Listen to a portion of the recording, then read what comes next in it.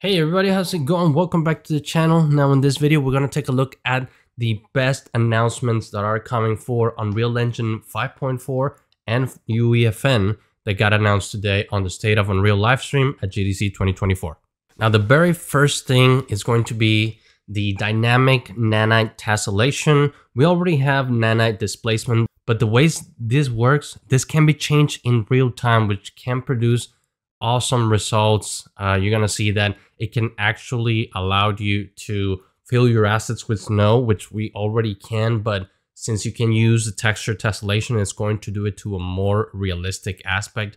This is memory optimized from what I heard on the conference, and it's gonna allow us to have more performance and better quality in our games and our films. Another thing that got announced is the machine learning when it comes to clothing. You can see how realistic the clothings are in this Captain America model. They are amazing.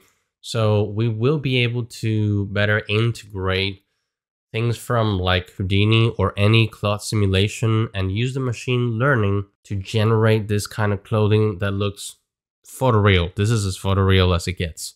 Now, this part wasn't so much an announcement as something that I thought it was really cool that they showcase. This looks to be a med custom MetaHuman, so I don't think this is something you'll be able to do in MetaHuman Creator. Maybe I'm wrong, but we'll see. There's supposed to be new stuff in the MetaHuman Creator 5.4. The thing about this is you can see how uh, high resolution detail he has on his face and how realistic everything looks. And we're actually going to talk about that in one of my comment videos on how to get a more realistic look with your metahumans. Another cool thing that they announced was this fantastic like spaceship environment that they created to do this uh, Fortnite demo.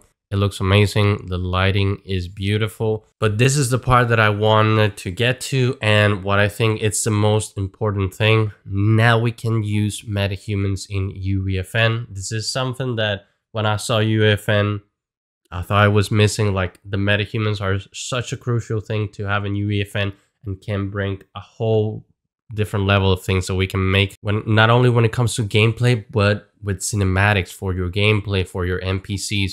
Uh, so far, you can only use the metahumans for NPCs. Another fantastic thing is that these metahumans are actually look at the memory size between the metahumans and what you're going to get with them in the UEFN I don't know what kind of sorcery or magic they're working in the background, but that seems amazing. Now, what they're showcasing here is actually how seamlessly Marvelous Designer is going to work with MetaHumans, and they're actually going to give us um, Marvelous Designer for free for a year, so we can use it to create our characters' clothing in UEFN. One thing that wasn't very clear for me in this case was whether we will be needing rigging for these clothing or they'll are we going to be able to just simulate them with chaos kind of like what we saw before and and that is it. No more worrying about how am i going to rig this clothes.